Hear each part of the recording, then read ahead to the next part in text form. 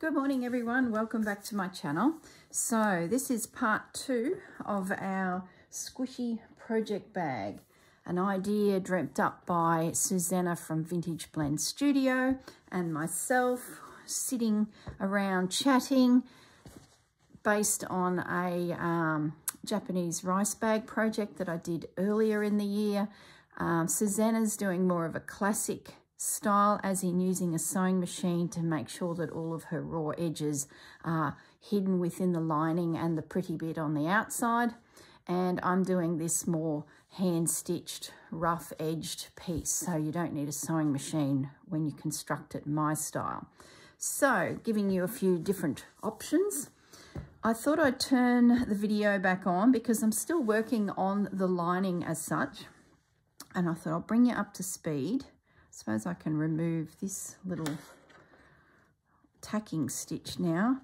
Um, I have done a running stitch through the whole piece and as I said I would just draw myself some lines.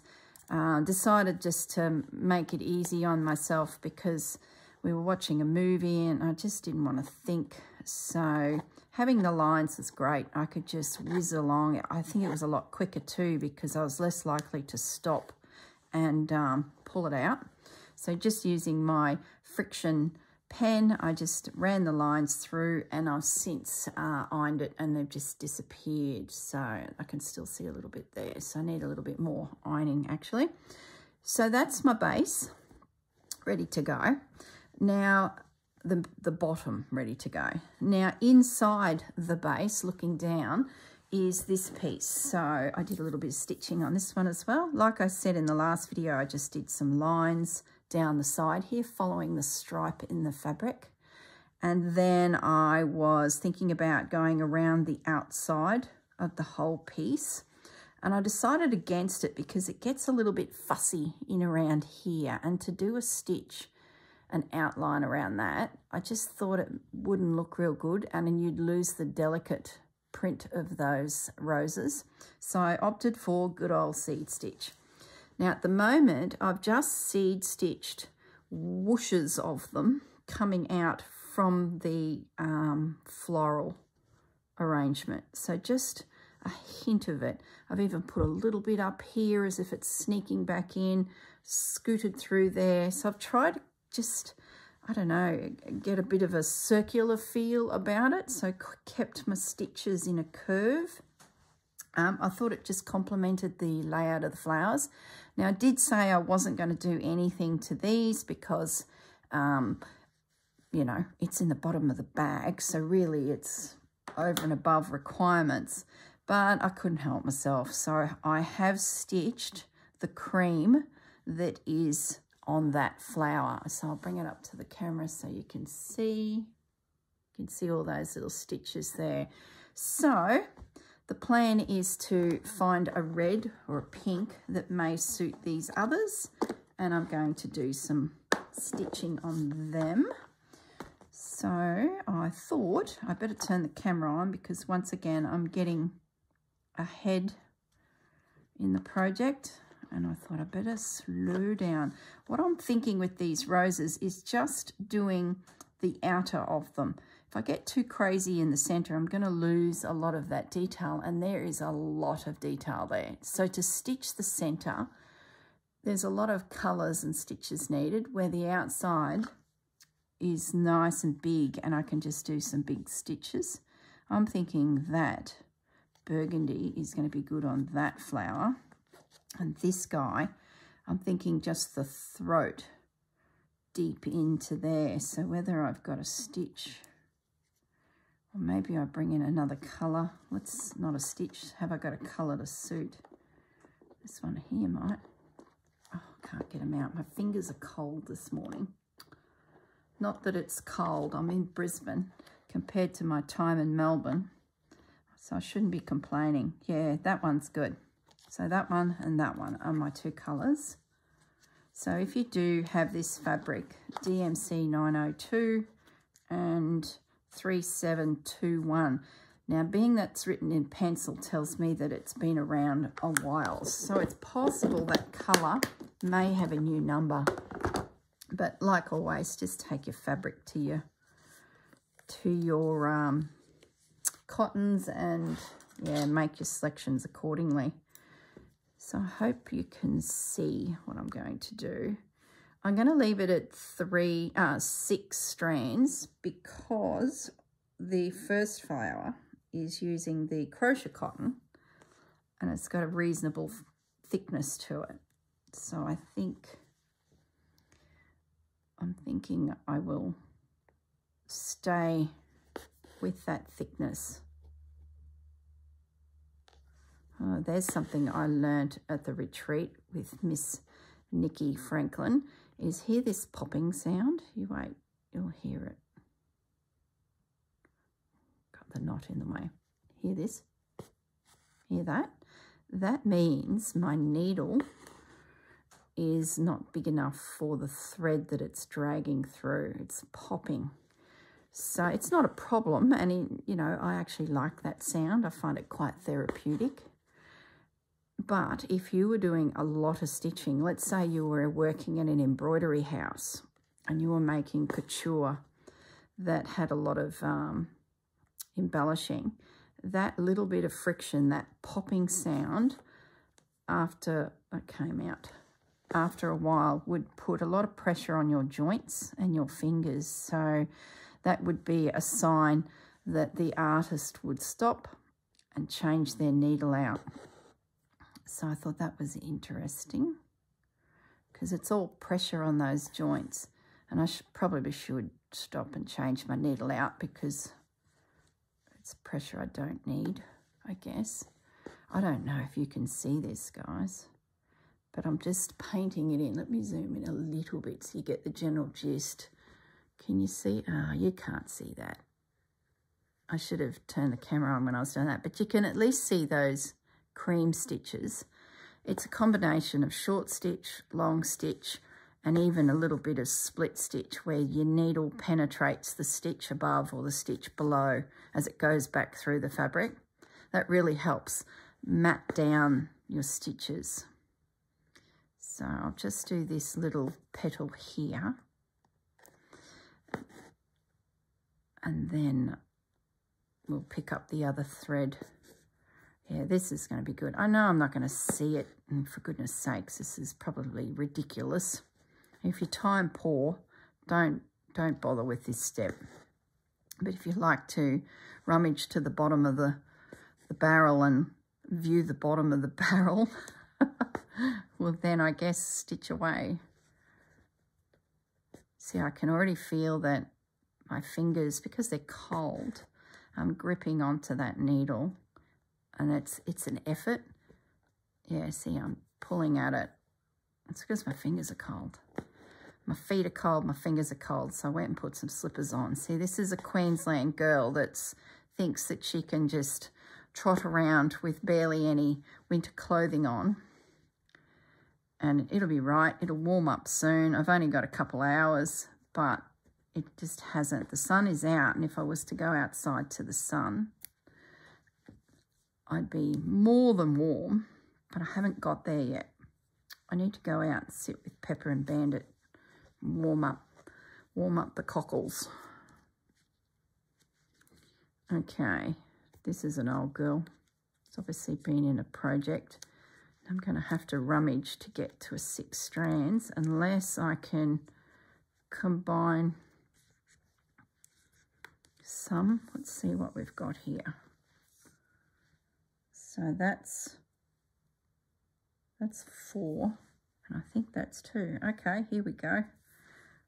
We're rebuilding the original cotton. It's not as long, but that's that's fine. Rejoin it. It's now back to six. And let's change our needle. Let's see if my theory if my story is correct. I get a, a bigger needle, we shouldn't hear or feel the drag. And the last thing I guess we want is our stitching to be a drag.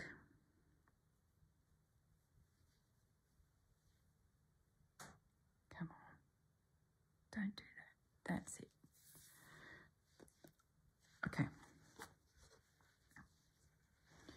Now that's going to go over here and it's going to be in the throat. So I might start up here.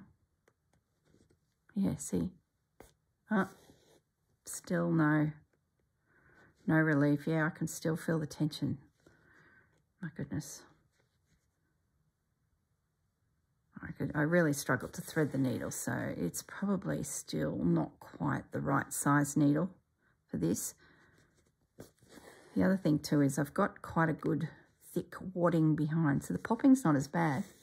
If I just shush up for a minute, you can have a listen. It's not as poppy. So I think I have, yeah, and I'm finding that the pulling through of the thread is not as much of a chore. So I've definitely got better in this selection. Yeah, definitely. I can feel that the friction against my body is less. Isn't that interesting? I guess too, um, I've heard other YouTubers say that if your needle's not the right size and you're forcing your floss or your threads through, you're just roughing up your threads. Every time you drag that thread or fibre through your fabric, you're, you're roughening it up or changing its structure, I guess, from what the manufacturer manufacturer did. And I, I think too, we, we need to be mindful of our joints when we're doing all this stitching and just um, taking a moment to review our practices and are they putting pressure on our bodies even just getting up and walking around after what does um, Mr. Google or Mr. Apple say every 15 minutes or something or every 20 minutes we're supposed to get up and walk around office workers stretch and and that's like makes a lot of sense.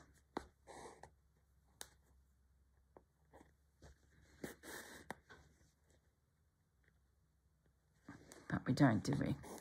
We just want to get to the end of that row or just one more petal or silly. Okay, so you get the general picture of what I'm doing here, just painting in those flowers. Everyone's painting flowers at the moment. So even if you were to go to YouTube and thread painting flowers and type that in, all sorts of videos pop up. So it's really nothing new, just embellishing fabrics and celebrating the artist that has gone before you that created this beautiful fabric. So I don't like to change it too much, but, you know, I then do put the Corrine stamp on it.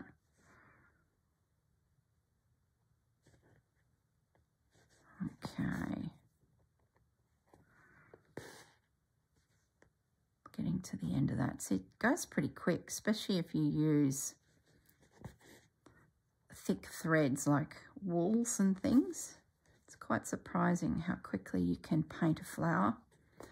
And you don't have to do the whole flower. You can just pick interesting areas. I did consider doing the leaves when I was looking at this piece. And I thought, no, I think the roses have to have the treatment if I'm going to do anything. And I'm glad I did because it's worked out beautifully. nearly finished this little guy. I think you can probably see this thread marginally better. So I could come back and put some French knots in the center, some beads. What I might do is find some roses to go on the outside. I feel like I need to really go to town on an outside panel. Speaking of panels, when I was stitching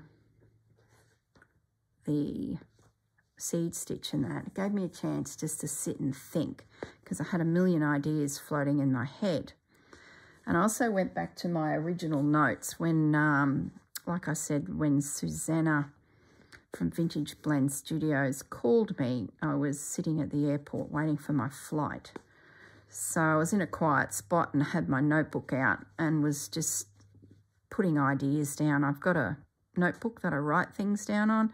I've only started it in the last month because it was just getting out of hand. I had so much going through my brain, variations of projects that I've done and just random things that pop into my brain or I'd see something and go, oh, I haven't done that for years. I must explore that technique again. So I said to my husband, I'm going to get myself a notebook that I can just pick up. I'm going to leave it by my couch or take it with me on a, a trip when I have time out just to think and just write it down. So I found a great one on um, um, our big stationery mob here are Officeworks. I've actually got it nearby. I'll show you. Oh gosh, I'm going off on a tangent now. It's just sitting here. This is it here. Um, let me zoom up. Okay, so it's a decent size, like it's two hand height. Zoom up a bit more, girl.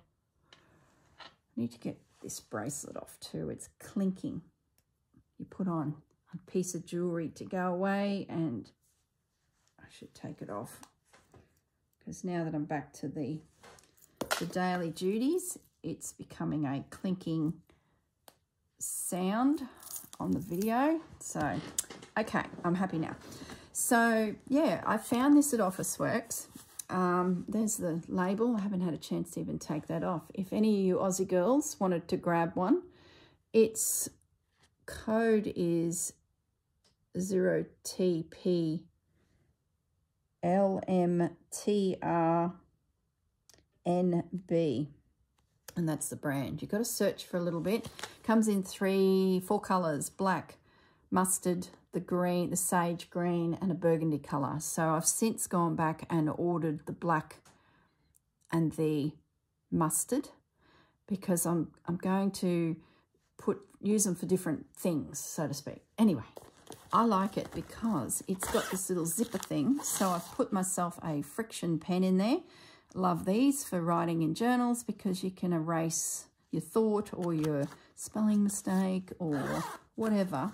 Um, it does have a pen holder, but um, yeah, it's great. And I'm just sketching down ideas, anything that I'm sort of thinking about, some different, you know, bits and pieces.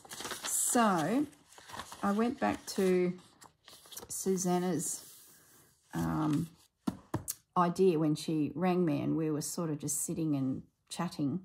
And I've since added a little snippet of the fabric that I've used. So in the future, I can come back and say, okay, what, what was my idea? How did it um, come to fruition? And, you know, this is where we were talking about all the pockets to go on the inside of the bag. Excuse my sketching, but it's just, you know, rough. The pockets I've since been thinking a little bit more about, and I'm going to put mine on the outside of the bag because, why? I don't know. Because I'm just, I'm loving this fabric too much to cover it. I might put the scissors on the inside because I wouldn't want them to fall out but I, I'm not sure yet. But I'm 99% sure my pockets are going to go on the outside. And I think it's because I've got these beautiful blank spaces that I can play a bit more with and I can really start using some of the scraps that were left. Like they're still sitting here beside me. They're just rolling around on the table. So I think it'll be a couple pockets on the outside. It'll be, um, I, I have to find a rose or an image of a rose that I can do some stitching on. So it's going to be a combination of those sorts of things. And that way it can sit on my desk as well and hold some tools. It can go with me and hold tools. And I'm not, you know, you pull your project out of the center and then I'm sitting, let's say, at with a heap of girls stitching, the bag can just be sitting there and I can take my scissors out, slide the scissors back in. I can take my notebook out or some threads out. Um, additional pockets could be put inside for spares. It's up to you. But I'm going to make, I think, the outside have more pockets.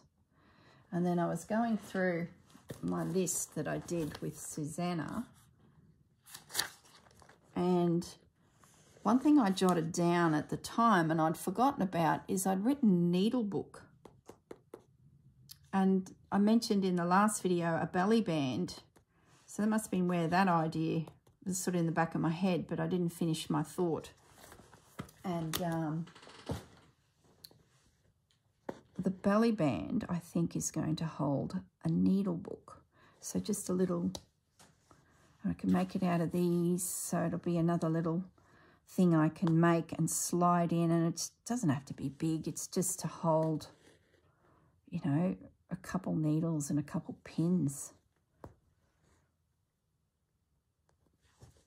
Uh, another idea that's just popped into my head. Oh my goodness, where's my needle book? Here it is. Hang on. Is this is handy. It's just a little bag. You know, they you get them organza bag. I better write this in my book because I will forget once I finish this video. Um, you get those little organza bags at the $2 shops. And um, I put in there my thimble, a needle threader, all those random things that you sort of can't really stick in a pocket, but a little bag. And I just stitched it in. See the top there? There's a button holding that little organza bag. So let me write this down, guys, before I forget. So extra ideas, a um, drawstring, little bag for buttons and your thimble. Okay, it's in the green book. Oh, I've just got to do it, guys. I have to write stuff down. It's just getting out of hand. Especially when you start talking to some of the fellow YouTubers. We can't help ourselves. We start brainstorming ideas and what do you think of this? What do you think of that? You know, it's it's such a lovely, lovely community. And then you guys say things. You're like, oh, Corrine, you could do this, you could do that. And I'm like, oh, you're a genius. So I've got a book now. It's the Sage book. We're going to be getting it out of my head and onto paper. I'm sure there's a psychologist or a psychiatrist out there that would say that's a very good idea for you, Corrine. There we go. See, just a little stitch. Probably no one will ever notice it, but I know it's there. I'll work that little bit there later. So let's have a little tidy up, girl. Just put that thread away because we don't need it now. How quickly does your workspace explode? It's just my little project container. Going to need that later. And I will finish stitching that. So then that piece will be finished. This guy is already finished. Now, Casper wants to come in. Hang on. I closed the door and Casper's there. Won't be a minute. Come on, Casper. Hello, Puss. How are you this morning, young fella? All right, back to what I was going to do next. Now, these panels are on the inside. So, if they get a pocket, which will be another episode another day, they will just have it stitched on thinking scissors probably would be a good one. But in the meantime, I need to give them a bit of a stitching treatment. So let's have a look at this one first. Now, what I'm thinking is I'm just going to do some running stitch. I was going to stitch all these down with some invisible stitch but I haven't done that yet. But that's okay. Where's my ruler? What I'm going to do is give myself some extra lines and I'm going to then just iron them out. Must put that pen away because that pen does not come out and one would be very disappointed with herself if she had picked it up by mistake.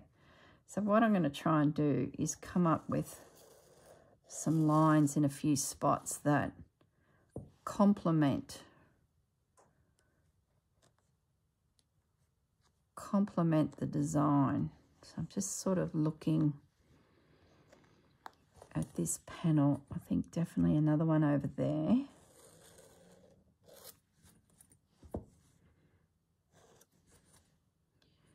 I might do a broken stitch down the side of there. Just a hint of it. Let the little red stitch do its thing. Not the red stitch, the red line, you know, be there in its own space, not, not embellishing is what I'm trying to say. Then I'm going to come down here. I didn't think too much of the design when I chopped these all out. So now it's the challenge of I guess if it doesn't look right, you just pull it out and have another go. But I think we can make this little floral line here look a little more interesting. So my internal panels are just going to be enhanced with stitches other than a scissor thing. I think I should put my scissors inside, but I don't know. We'll, we'll get to that.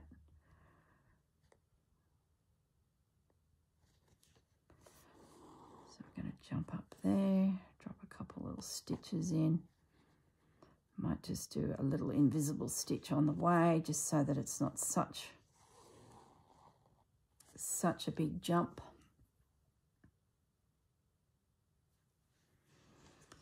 And then by the time we get to the end of this video, I'll have a plan for all of these internal panels.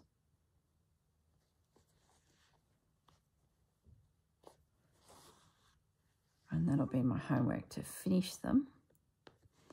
Then in the next video, we will stitch them together. Like I did in the first video, I pinned them, so that gave you a bit of a, a quick snapshot of where I was heading. If I was organised, I'd have this project made and right at the beginning video, you would see it finished and go, oh yes, I'd like to do that. But that's not me because I do daily videos, I literally just make it on the fly with you guys. Nut it out together.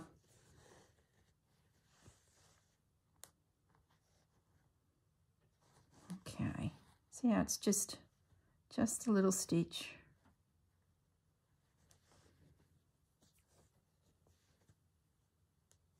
I'll jump across to this side. That's not going to take long at all, so that's that's good.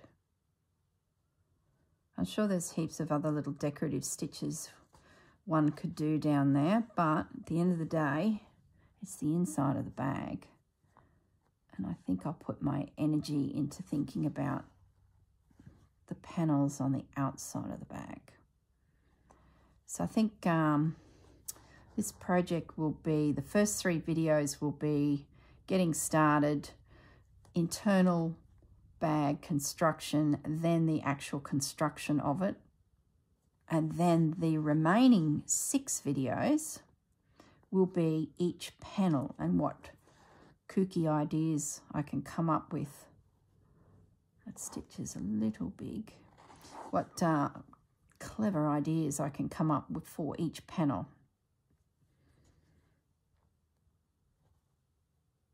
So all going to plan it'll be nine videos to get the job done. And I'm thinking, I haven't yet spoken to Susanna, but I'm thinking it'll be one a week.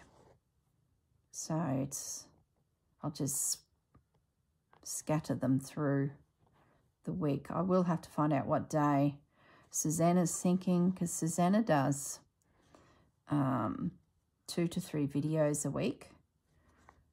So I'll have to find out what day she's going to post hers and then I'll follow follow in after that. So you'll see Susanna's first and then within a day or so. I'm going to pull that out because I've gone not only crooked, but I've got these little tiny stitches here that don't look right. Back it up. It's just a nice little detail there. I should be zooming in so you can see. Let's zoom in again, guys. Can you see the little stitch just sneaking through? Just a little, little detail.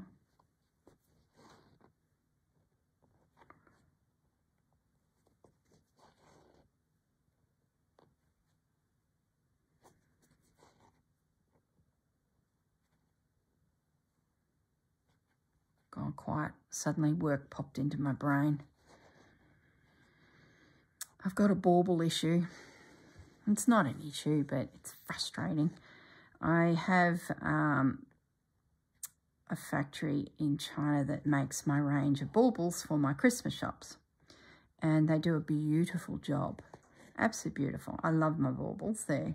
We've hunted and hunted to find a, a nice manufacturer. And uh, they're two young lads that started the factory and they had tried quite a few products in their process of, you know, what are we going to make? I think, I think there's a parent factory behind it, you know, their mum and dad that bake paints, but I'm not sure, like they paint things and bake them. So these two sons, they'd probably be 25 and 30. These lads, they're hilarious. One of them has studied here in Australia and has gone back with, you know, a bit of formal business training. And the other son, he's he's not interested in coming here. He just wants to hit the ground running. So the lads, with I'm sure the guidance of mum and dad, have decided to set up their own manufacturing. So they've tried a few things and I saw a couple years ago those few things and it was like, yeah, no, I can see why that didn't take off. You know, just random ornament type things for the home. Uh, it was really random stuff. So anyway, they've got on to baubles, Christmas baubles. Simple once they have your mould. And they've done some that have like little indents on them and patterns, so that makes them quite interesting. And when I was there, they were investing into glitter. it was really funny. So they were so keen to get our business. They were like, you, you pick pattern, you pick glitter, you pick colour, we make. Like I'm talking Chinese now. And um, so it was fantastic because I was able, a lot of their packs didn't really interest me. I sort of need specific things. So I was able to go through all their packs and go like this bauble, this bauble, and this bauble. Can you make this one, this colour, that, you know, create combinations. Yep, yep, no problems. I got the sizes I wanted. I made some standard packs, some bauble, big bulky packs, you know, for the the family that just want one big barrel of baubles to put on their Christmas tree. And then I've got the range for the designers out there who want to, you know, place certain size baubles on the tree. So long story short, everything's been going well until probably two years ago. My white baubles turned up and there's a mix in there of glitter, matte and a pearlized finish. And they have been beautiful and they're a real polar white as you would imagine snow to be. So what's happened is two years ago, the pearlized version of the bauble wasn't white. It was an off-white like this cotton. So it looked terrible. I think I've got a photo. Is my phone here? No, it's not. I'll put a picture at the end of the video. You'll see what I mean. Chelsea, um, my manager, she took a photo because the containers arrived with all the baubles in it and the off-white pearlized bauble is back. Now, it was an easy fix for us at store level because we had to, it just looks, doesn't look right. So we unpacked all of the packs of baubles. We're talking thousands of packs of baubles and repack them into two styles. We put all those pearlized off-white baubles in one pack and then just made a mix of the the white baubles in the other pack and they looked beautiful and it sort of worked out okay in the end because if people were doing say rose gold and um, champagne as a theme on their Christmas tree the pearlized off-white bauble looked beautiful. And if they were doing, say, red and silver and they wanted a pop of white on their tree, they would buy the pack that had the white, polar white baubles in it. But the pearl ones were slow to sell. It's, you know, one of those colours that's probably a little bit, you know, modern on a tree.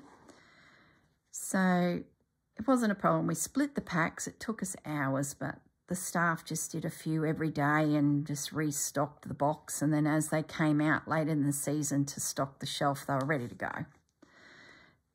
We let the factory know. The boys were very apologetic. We said, oh, look, don't worry about it because, you know, it's nearly a happy accident because we, um, we got a new bauble out of it. And the staff loved it because they started making wreaths and swags and garlands with this little pearlized off-white bauble. And it just looked beautiful. So roll forward to the next year, the baubles arrived, the pack was mixed and it was perfect. There was no pearlized creamy ball. They were back to normal. We still had some of these left, just a few. Well, they sold out last year and they were gone. And my manager mentioned, oh, I'm going to miss those little happy accident baubles because um, they actually were beautiful with burgundy. They looked beautiful with, um, oh, we do like Tiffany blue, a soft pink, uh, and that creamy pearlized off-white bauble was just beautiful in it. So the staff were a little bit, oh, they're gone. They were fun. So anyway, we get a container of baubles in and the the guys are going through the boxes, checking it all, and yep, everything's good. They open the white, and guess what's back? And they were so excited that these pearl balls were back in stock. So, and it's exactly the perfect timing because we've sold out of those few packs that we did have. And um, we're restocked. So they're just buzzing and already, like they send me a picture um, of them in the box and going, oh no, they're the, they're the wrong colour, but yay, our pearl baubles are back. And then within, you know, a couple hours, pearl baubles are popping up on creative pieces of wreaths and swags. and So, yeah. So I don't know what happened at the factory. Technically, the boys have had a mishap I would say that they probably have a recipe book with my uh, orders in it. This is how I'd run the factory. I would have a job sheet or a recipe book with each client's requests and I think they've probably somehow gone back to that year and just reproduced the incorrect bauble, but doesn't matter a nice happy accident. So there you go. That's why I went quiet. Baubles popped into my brain. It's so typical of crafting. You might not have the exact colour you need, but we tend to go looking and well, what else can we do? How can we make this blend? It's just, it's, yeah, we do it. We do it at our craft table all the time. You just got to sometimes make things work. And that's the fun of it. It's really, really good. And that will apply to the sides of this project that I'm doing here because I don't have a lot of fabric from Luccello in this range. And I don't want to buy more.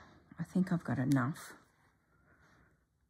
So I'm going to have to get creative with maybe even some other little fabrics that might sneak in if I feel I need a little extra. So, and that's the fun of it, isn't it? Blending. I probably won't cut a rose out of that fabric that I used in the base because it's going to chop another chunk out of that beautiful piece of fabric and I don't think I want to do that. So I will have to go hunting for a flower that tones in to my piece that I can then paint with thread on one of the panels.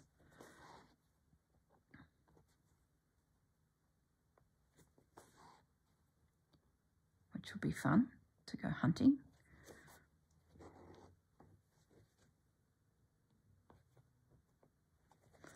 So I'm nearly done this little panel. In the process of doing this, it's like being tacked down. So it's becoming one. I could probably do more lines, but I think I'll leave it at that. I like the space that's between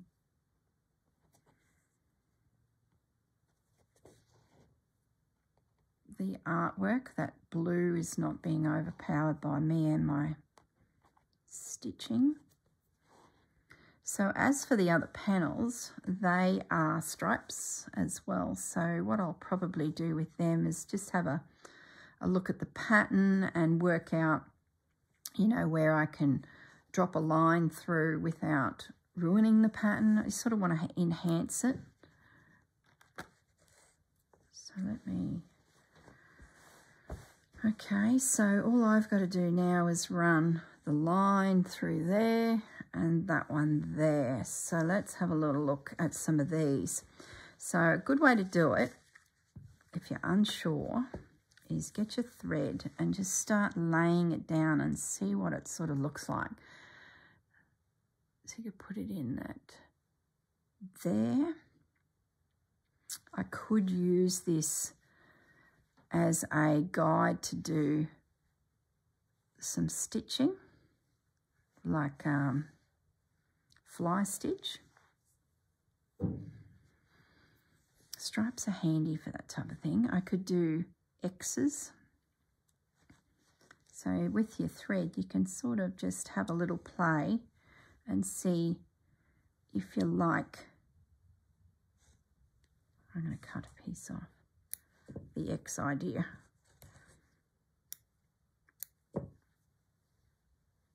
So let's assume that that's stitched into there and then I come back and stitch that into there. I don't know. It would have to be a big stitch and things might get caught on that. So if I did do it, I probably need to put a little stitch in the center there and even that worries me that that's a bit of a, a, a long stitch. So I don't think I'll do X's. I think uh, stripes it has to be. Even the Y stitch I'd hate for something to get caught. So the Y would be like that. And then, of course, then another one and another one. Yeah, I don't think. Practicality-wise, would look great, but, but no. Nope. Maybe this fabric will pop up on the outside of the bag and I can do a bit more decorative stitching. So that one's just going to have some lines added. And I think I will do a line in the blue, a line in the red, and then a line in the other blue. Yep. So it'll be a, a three-way stitch. So that's his story. We'll come back to the floral one. This guy here, what I might do with him is go this way. Oh no, let's go diagonal. Let's stitch diagonally across the panel. Yep, I like that. So that's his story. He will get this this way. All right. Next, what have we got? Another stripe. He'll be similar to the previous one. He's like a sister to this guy. And I'll do the same. I will just slip in there, slip in there, and slip in there. So, uh, and we've got another one. I wonder. Yeah. So they're going to be easy. They're not going to take too long, which is good. This little guy, I might do, I might do him diagonally as well, but come back the opposite way. Yeah, whatever that one is, it'll be opposite to the other one. I think that's what I'll do with them. Okay. So um, the front panels we will come back to another day. Let's go back to where we were and finish this guy. How are we going for time? Oh, we've got a bit of time. So I'm just going to cut myself another thread and we'll finish this panel. And then I'll leave you in peace so you can go and do what you need to do Try not to do too much housework today, folks. Let's, let's, actually, let's not do any.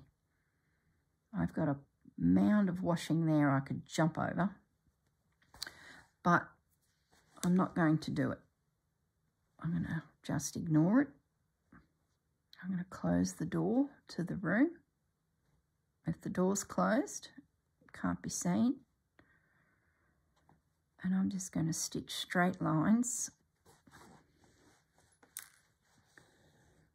on my panels and get them all done so that I can come back to you guys and we will stitch all of these panels together. We will even be able to put the two bases together on it, which will be great. It'll be probably be a bit of a stop and start video, otherwise I won't get it all done in one video, but we'll do a stop and a start. And by the end of that hour, we will have a good chunk of the construction made. I think it'll help me too because then when I look at the decorative panels on the outside, I can glance to the bag and see what's on the inside and maybe, I don't know, drag those fabrics to the outside. So let's say that this panel is on the inside. Maybe this is my feature. Where's my scrap? This is my feature on the outside. So its sister is on it. Yeah, there we go. See, I like rules. It keeps me focused on a target. I don't have guidelines. Well, you know me. Gets a little, little out of hand, doesn't it? So, I like that. Yes, yes. Should I write it in the book? I probably should. That's all good we're going to match the outside panel to the inside panel.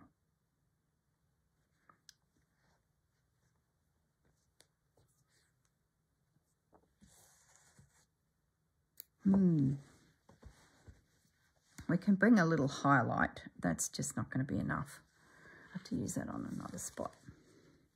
We can bring a little highlight from other panels into it, but it will be mm, thinking. Can you hear the cogs turning?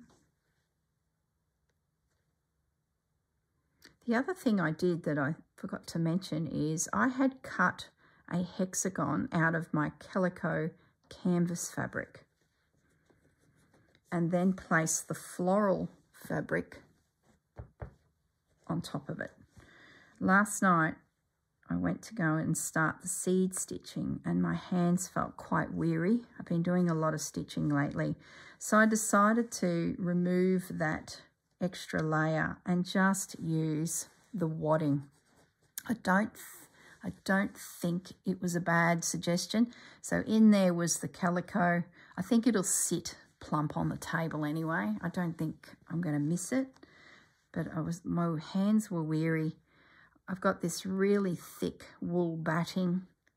Plus there's the layer of the um, cologne fabric, which has calico on it. And I sort of felt like that was a nice base.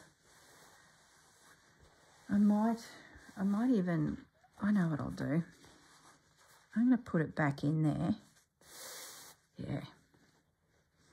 I'm going to put it back in there and I'll just do some invisible stitch with a nice sharp needle. I think what the problem was is I was using this uh, milliner's needle here and it's quite thick because of the cotton. Therefore, it was really dragging on my hands. Hello, Casper, you're back again. So I ended up thinking, oh my goodness, if I do thousands of seed stitches, I'm going to have an injury. So I took the thickness down a little bit. But, um, yes, Caspar, I'm going to put it back in now. So my cut piece that I didn't want to do seed stitch through will still be there. But because now I can use a really sharp needle. My hexagon must be a bit skew if that's it. I'll pin that because I love the thickness of all of those layers. It sort of adds interest to the piece. Yeah, I will do some invisible stitch. I'll probably just sort of do a star, just little stitches right through, just so it's, you know, mats it together.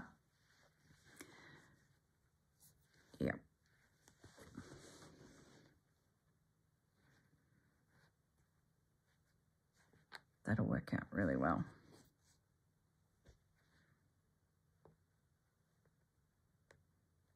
The project is evolving. Probably drive some of you nuts because you don't know where I'm heading until we sort of get there.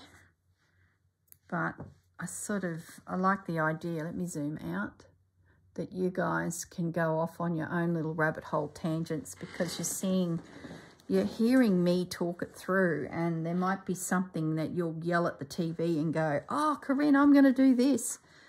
You know, you head off in your own direction, which I think is just great. So yeah, that's that's what I'm going to do. I'm going to repin that because it's all skew with.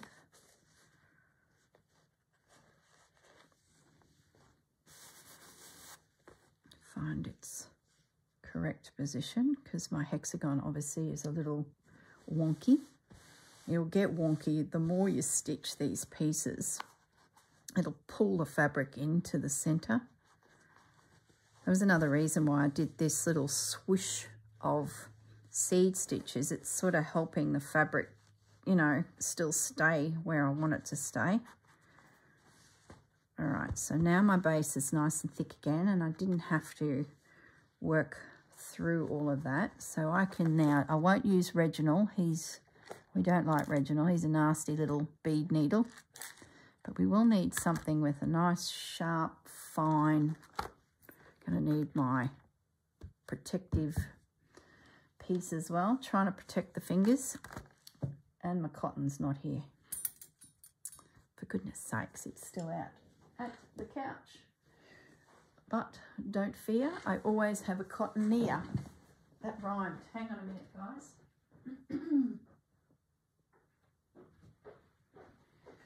no, I don't. I'd have to go to the sewing machine and actually rip one out of the sewing machine. But it'll just be sewing machine, um, you know, just, just cotton.